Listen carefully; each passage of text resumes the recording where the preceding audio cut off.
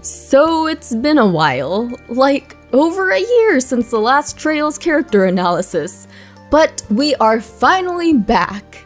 And this time we're dissecting another Enforcer, meaning we're also back to talking about tarot archetypes. And don't worry, I'll briefly explain all the relevant Jungian concepts before diving into the meat of this video. So without further ado, it's time to analyze Ouroboros Enforcer 2, Loewe, the Blade Lord. BT dubs, isn't it shocking that I'm finally saying his name right?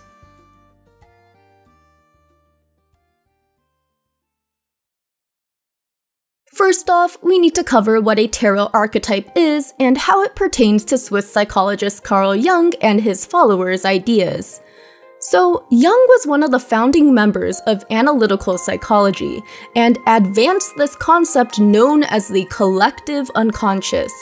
This collective unconscious is the foundation of society's ideas about human narratives, or in other words, the different types of people we encounter in our lives. For example, practically each one of us has met a motherly figure at some point in our life's journey. This kind of figure repeats itself over and over in the shows and movies we watch, the books we read, and the video games we play. So think of an archetype as basically a trope from TV tropes.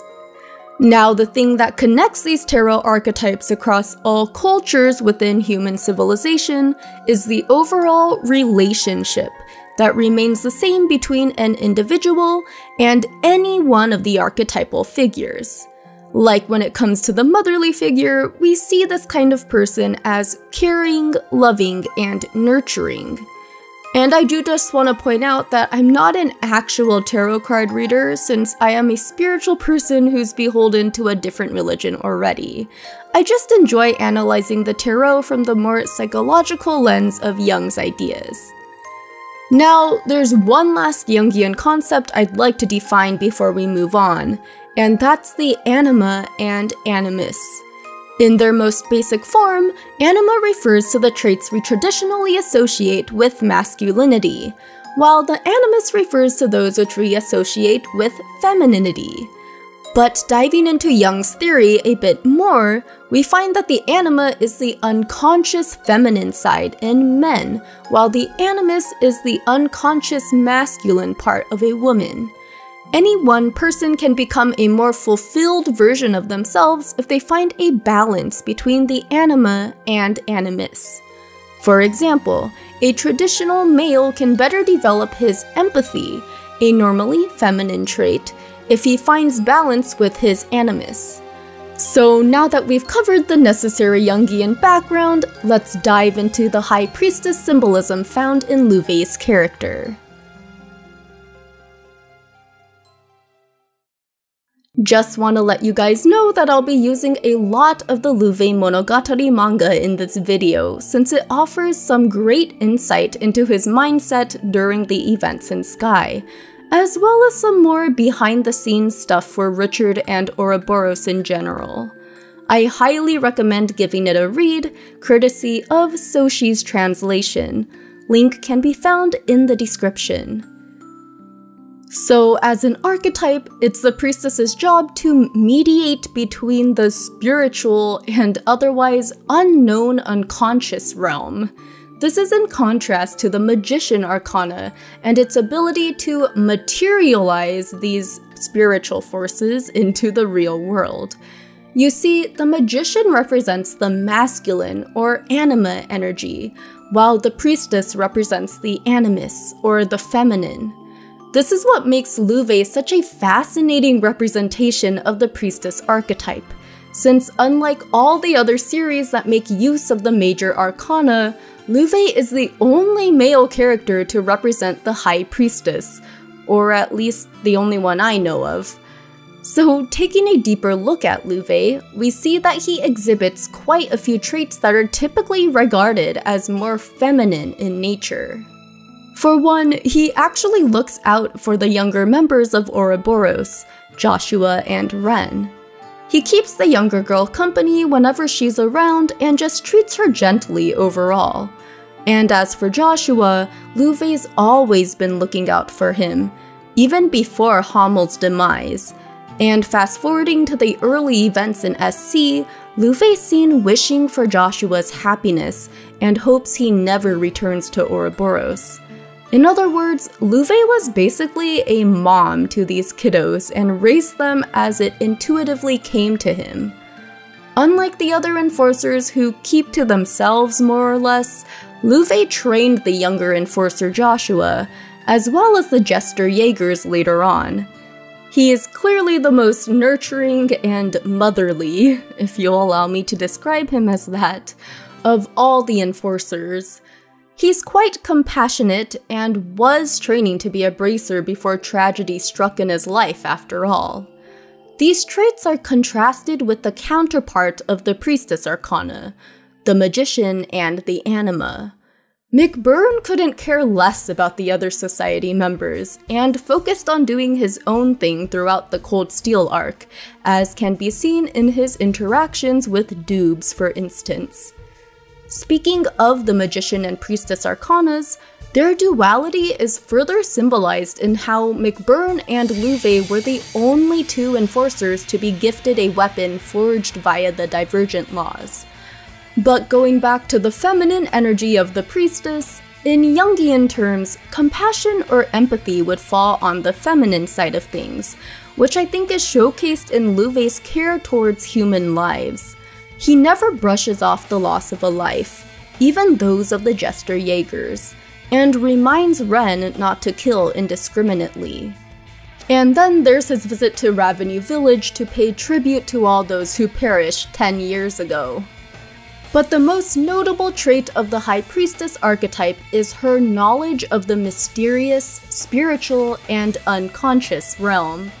And so, taking a look at Sky FC, Falcom really plays up the mystery behind Lorence Belgar and how no one seems to have any information on him. Though in contrast, Loewe always knows a whole lot about our party members. Not only this, but Loewe knows the truth about the Hamel tragedy, which is something that's entirely unknown and top secret except to a select few within the entire continent. He also speaks in metaphors that deal with things that are beyond what's merely found in our earthly realm, like how he brings up the heavens when addressing Kloe, or the moon when speaking to Renne. All these things contribute to this narrative that Loewe has this profound, almost mystical knowledge. But of course, the second arcana doesn't just stop there. The High Priestess also helps others look beyond the surface in order to understand truths that appear shrouded by mystery upon first glance. Loewe plays this role for a number of characters, like how he literally guides Colonel Richard to the miraculous power beneath Grancel Castle. But there's no bigger example of this guidance than in his interactions with Agate Crosner. You see, the priestess archetype is characterized by incredible intuition, which Loewe demonstrates towards Agate after exchanging only a few blows. He easily sees past Agate's anger and fury, and knows that he's actually just an emotionally broken man due to past trauma. Agate is still angry with himself for his inability to protect his sister all those years ago, just as Loewe was when it came to Karen. The latter's inner thoughts confirm as much, which is why he's so successful in understanding Agate. Loewe's words continuously warn the Heavy Blade that continuing to stew in anger will only bring serious harm to himself and others. Like how Agate's fury caused him to rashly charge in all on his own, an act that would have gotten him killed if Tita hadn't shown up in time. But despite Agate nearly dying at the hands of Loewe, the Bracer never would have confronted his past hurts, nor grown in maturity if it wasn't for that encounter. So even though it was Tita who had the real heart-to-heart -heart with Agate, this couldn't have happened without that near fight to the death with Loewe guiding it all. It's also thanks to Loewe that Joshua met Estelle, the now love of his life, via joining the society where he'd received the mission to assassinate Cassius. Speaking of joining Ouroboros, no analysis of the Blade Lord is complete without addressing his disillusionment with society. So, due to the horrific inside job and bloody slaughter of Hamel, Loewe lost completely everything.